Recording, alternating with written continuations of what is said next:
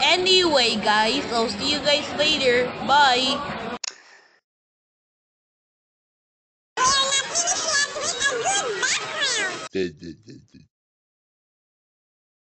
Mervin's Hopper's phone is so good.